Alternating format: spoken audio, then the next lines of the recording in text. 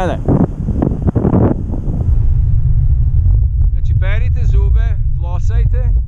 I onda ako vam se i dalje desi neki problem, onda vam treba čeka zubo.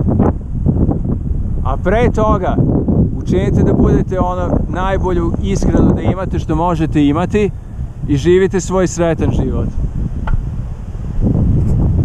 Hvala vam što ste gledali video Čiče iz Rogače.